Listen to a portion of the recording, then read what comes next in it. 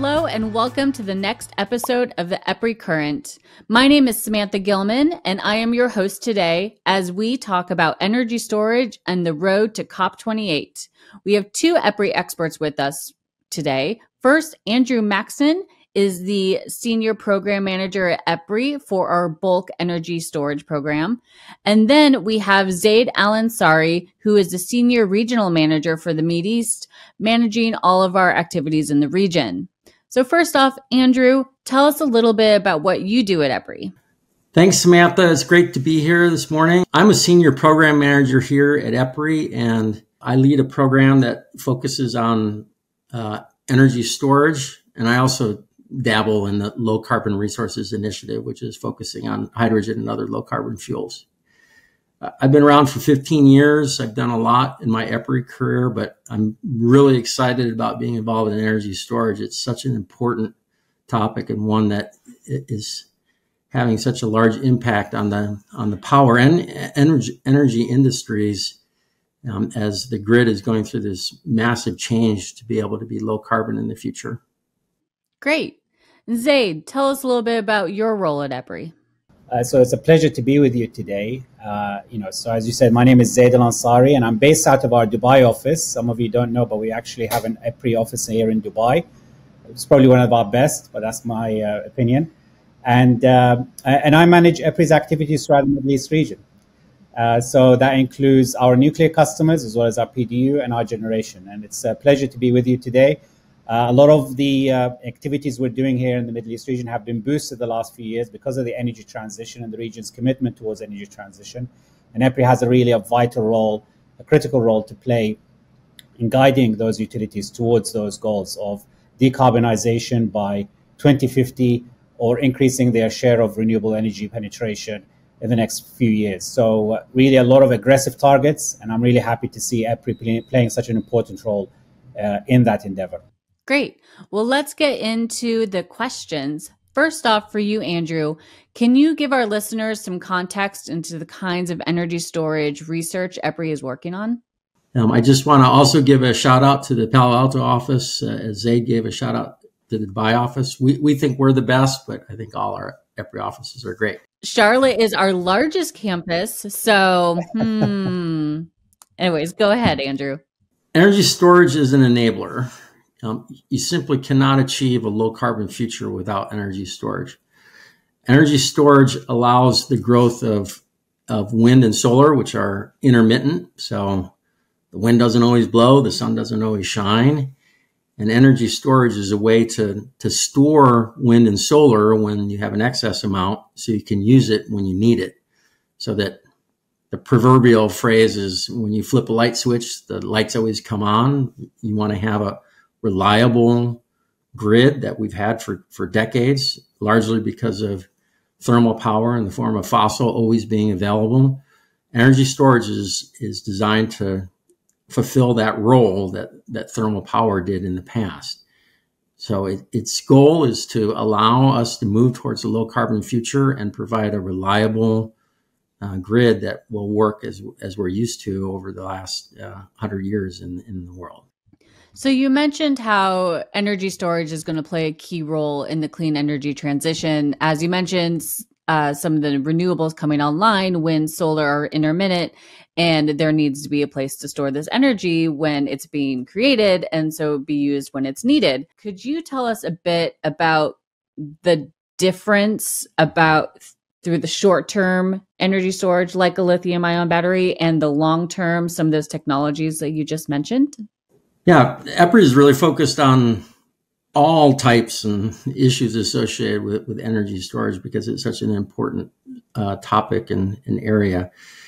Um, different regions and different use cases uh, throughout the world will, will likely require multiple types of energy storage with, with different characteristics.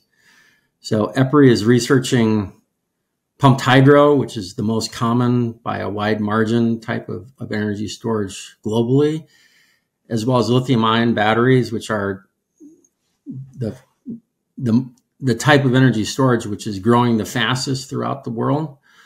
But, but on top of that, uh, we're working on other newer, less mature types of energy storage that have a chance to be lower cost and to fit some of the use cases that pumped hydro and lithium ion might not be able to handle.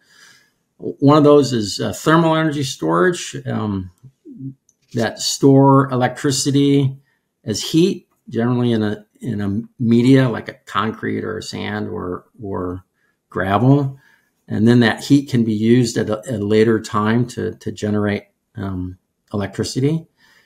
We're also looking at mechanical types that store kinetic or potential energy, which again can be used at a later time to create create power when needed.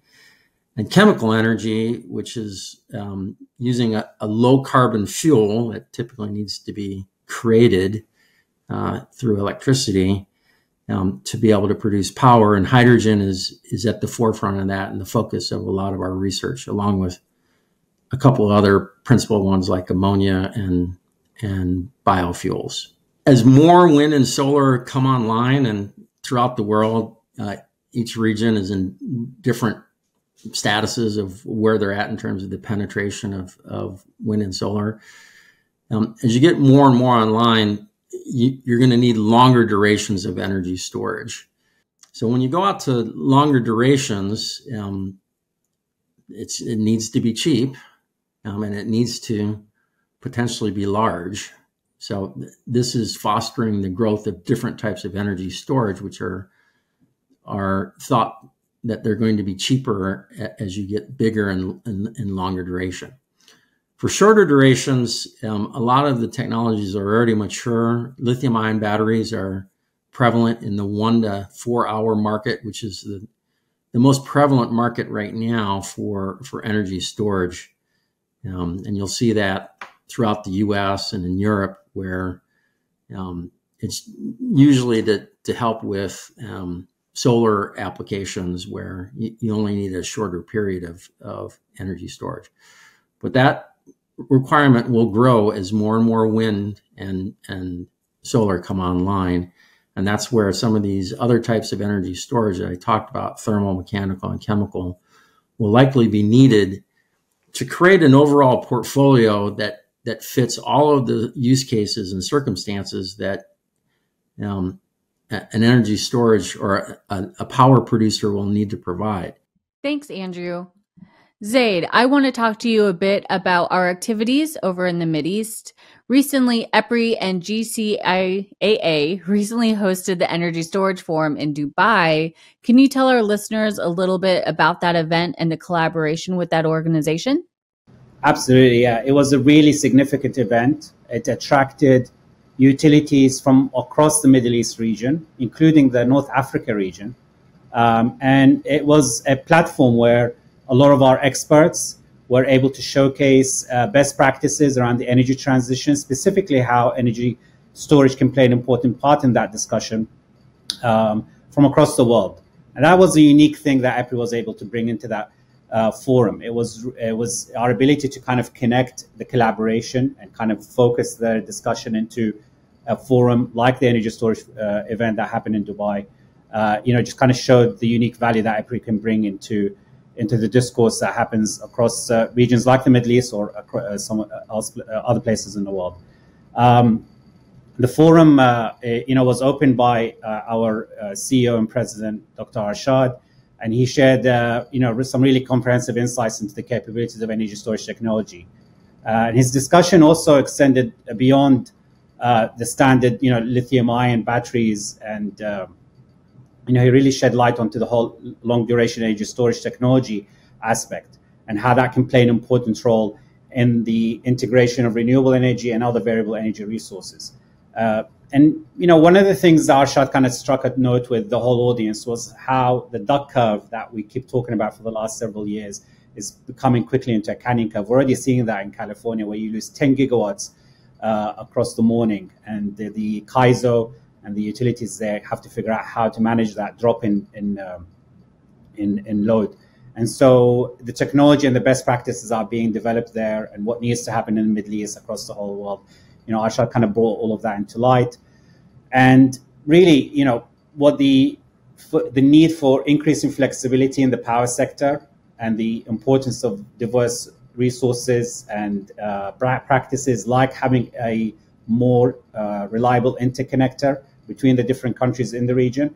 And again, the same can apply in other regions as well, allows for that, uh, for a successful energy transition. And even went beyond that, you know, time of use rates and, you know, the various long duration energy storage I mentioned earlier, technologies are currently being developed and being showcased across the world into viable commercial solutions. Uh, you know, they really, they really were coming, coming to light and being brought into a discussion uh, with various leaders that attended that event. And so it really added value uh, into how, how EPRI can help uh, the region in this energy transition. And I, I looked at some of, I watched some of Arshad's remarks from the event. And one of the things that he sort of tasked the audience with is um, at the same event next year, as this is now an annual event, um, to come to the event with actionable things that we can do. Like let, no more talking in hypotheticals and you know in the future. It's what can we start taking action now? What can we do to get these technologies deployed and um, progressed? I don't know if there's anything you want to say to that no absolutely i think that's a, a brilliant point you brought up you know arshad was really focused on the on the tangible uh, uh, let's say takeaways we can have from this event he, he challenged the audience with selecting the top 10 technologies that we can start piloting in the region. And our relationship with the GCCIA, uh, which is very fruitful, and we're very proud of it because they really do connect us with the, all of the main utilities in the region. Uh, you know, we're, we have a roadmap together that we're going to be, we're currently executing on that allows us to look at technologies, how they're being piloted, how they are being assessed in their applicability and their uh, suitability for the for the for a region with with interesting, let's say, unique environment like the Middle East, and how those technologies can fit in here, you know, successfully. Piloting those technologies, demonstrating their success, and making sure that the innovation is behind that effort is going to allow for a successful integration and adoption of those technologies. And Arshad really kind of challenged the whole audience, which included utility leaders, utility technical managers, and how to kind of come back uh, with ideas and plans of how to uh, uh, demonstrate and uh, pilot those technologies so that we could see them very soon on the on the grid network uh, being uh, being used. So COP28 coming up later this year in November is going to take place in Dubai as well. How did this event sort of lay the groundwork for the path to COP28? So the whole COP28 is about the energy transition and the fact that this event really set a platform for a technical discussion around what we need to do today. So our ability to walk into COP is more informed, right? So our approach to COP becomes more informed in what we need to do. So those tangible actions that we need to work on now become points of discussion in terms of outcome during the COP28, or at least in terms of planning and strategy in COP28. So it really set us up well. It put us on the map in terms of what EPRI does in light in, in anticipation of the COP28 event.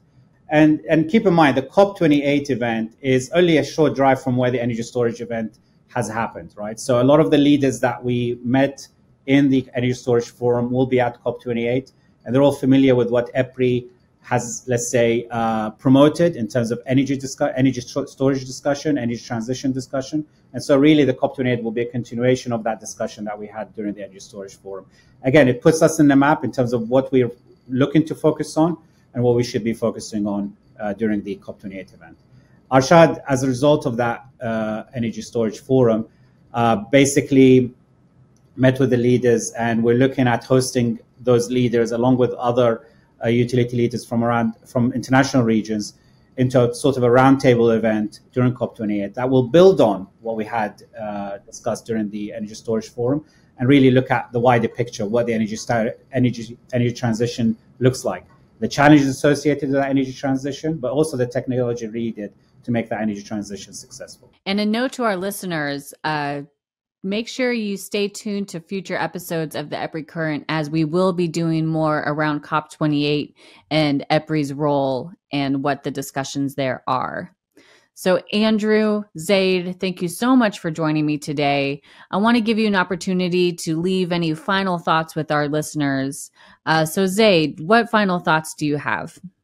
I'll just say, you know, with the COP28 coming up, try to leverage that event as a way to reconfirm your uh, relationship with your existing utilities, strengthen them, and then hopefully we'll use COP28 as a platform to further elevate EPRI's position in the global power sector. And if you want to access the takeaways, the recording of the energy storage event, which has a lot of interesting discussion points, as well as uh, informative uh, uh, presentations, uh, there's a link that will be posted uh, that you could visit, and hopefully you'll enjoy the recording as well as the presentation material as much as we have. That's right. And you can actually learn more about COP28 at epri.com backslash COP28. Um, and so, Andrew, what are your final thoughts? This is important. It's really important because power is is really the great enabler for um, a healthy society and making it stable so that we don't have blackouts that we have reliable power is critical for the world so this is a really really important topic and i, I personally think that epri has um, a sizable role to play in this because we have the technical expertise, yes, and, and we do have a considerable number of resources focusing on energy storage. But we're unbiased, we're independent. Um, we don't have a dog in the hunt, as they say. So that means that when we work on a project, we can provide both the industry and the developers um, unbiased results um, that is more credible and, and more believable. And that's what everyone really needs right now. They need accurate and believable information so that they can make the right decisions in an industry that's going through changes that it's never had to go through at, in this rapid amount of time. That's great. Well, that's it for today's episode of the EPRI Current. Again, I'm your host, Samantha Gilman, and we will talk to you soon. Thanks. If you like today's show, we invite you to subscribe to our podcast. And feel free to share the podcast with your colleagues and friends. For more information about EPRI, please visit our website at www.epri.com. And don't forget to follow us on LinkedIn and Twitter at EPRI News. Together, we are shaping the future of energy.